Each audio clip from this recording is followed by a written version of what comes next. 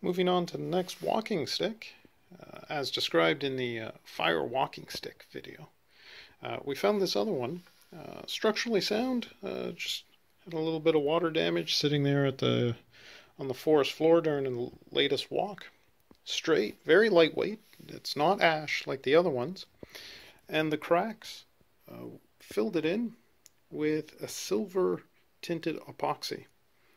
Uh, we're going to see how that turns out. Um, I don't know if it's light wood or dark staining like you see here.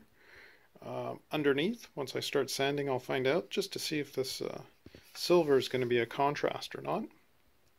It's got a good length, nice and straight. We're going to uh, first take off all these branches, hand sand them down, get something smooth, and then we'll see what we do. Are we going to do a little spiral twist, maybe a uh, wood spirit carving on top. Not quite sure yet.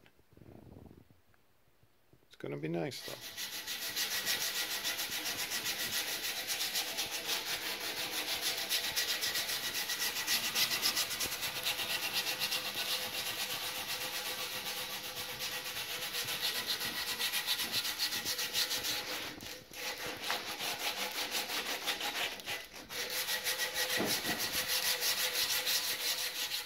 So we've sanded down the stick, taken off all the, uh, the bark and dirt, and uh, some very interesting patterns are coming out of it.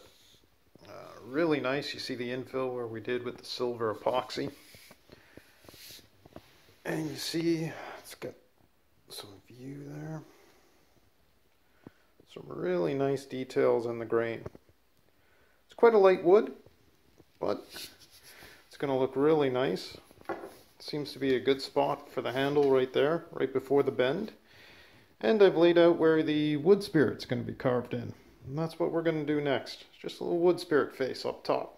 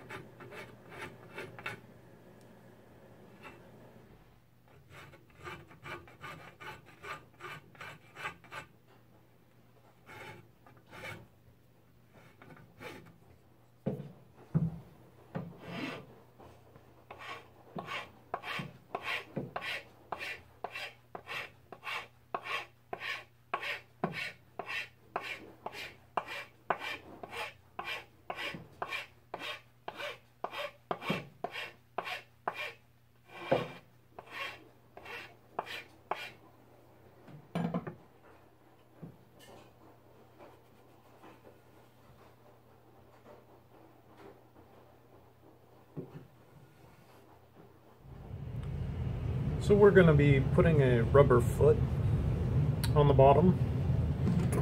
So what we do is uh, we'll measure the inside diameter, a little under an inch, and uh, use this to start whittling down the bottom using uh, some chisels and files, and we'll fit the foot on.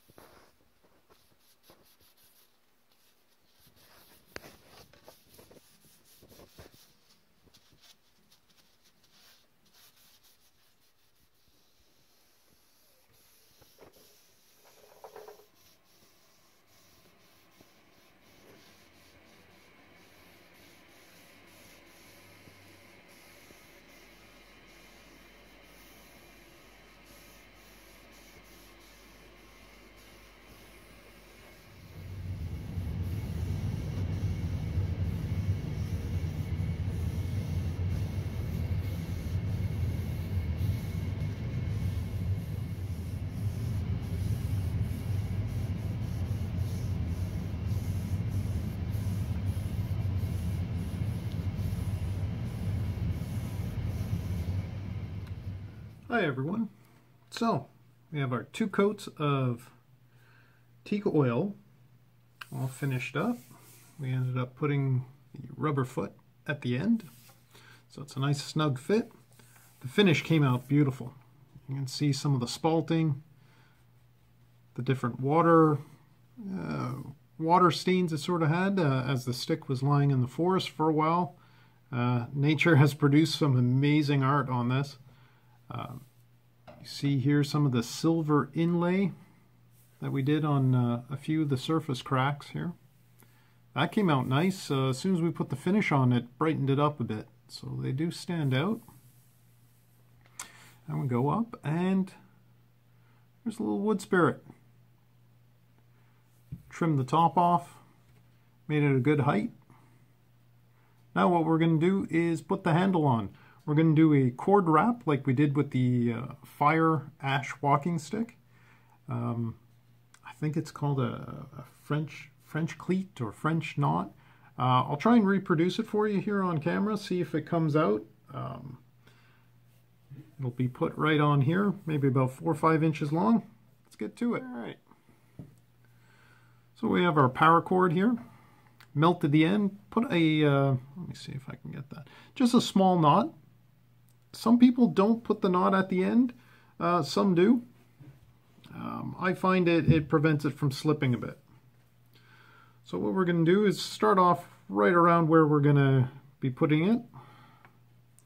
The top of the handle. Wrap it around once.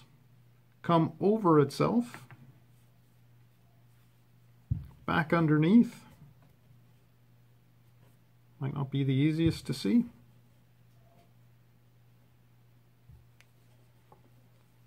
And tighten it all up. And it makes a nice, uh, nice lock. Don't be afraid to tighten it pretty good. Tighter the better at this point. This might be a better angle. So we've got that first one tucked in. Now it's going to be a series of hitches. Take it, turn it, flip it around, and feed it through. I got quite a long length here, so bear with me.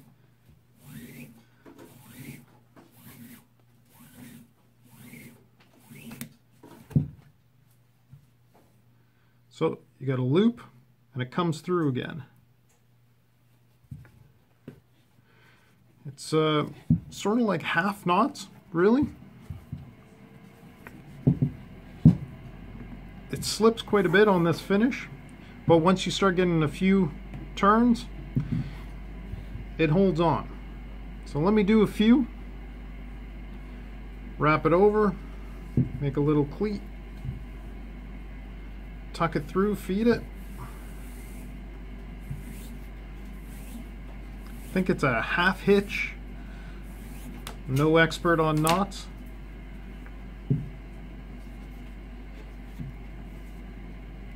But this one comes out nice as a handle. And you start seeing uh, this little loop that, that's starting to form and it's going to make a spiral all the way through. Let me do a few and you'll be able to see. So I've done maybe four or five and you start seeing that diagonal, that little spiral starting to form. So once again you take it, take the leftover, make a little loop, wrap it around, feed it through the loop, get all this excess out.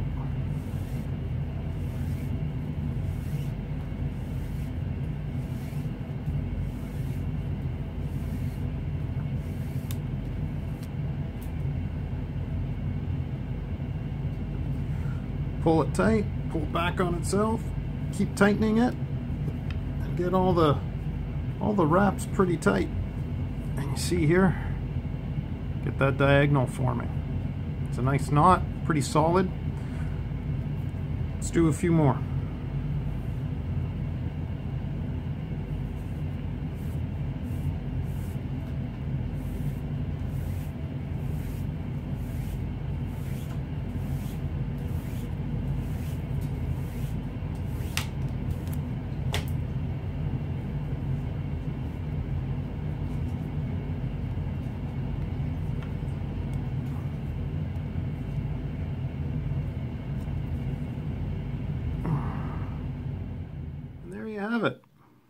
Just kept doing that little half knot all the way.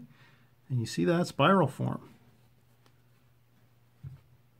What we're going to do afterwards is we're going to wet this down.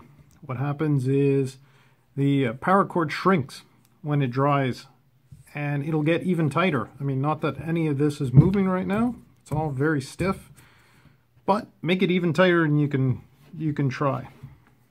Try and do by hand. So with the last knot, you just pull it as tight as you can. We're going to cut it short.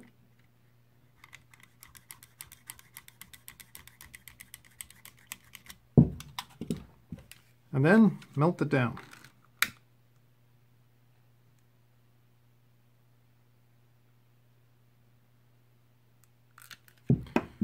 And flatten it out. Melt it on itself if you can.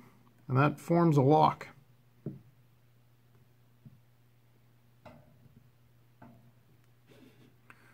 There you go. You can do the same up top. Um, I leave this little half knot in. I don't mind it. it gives me a chance to, uh, if ever you have to take it apart, I'll just cut here and it'll wind itself out. But that makes a good solid knot. So there you have it. Little wood spirit. Wood spirit walking stick.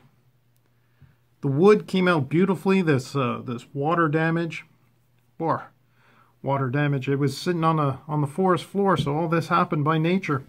We have our little silver inlay, wood spirit carving.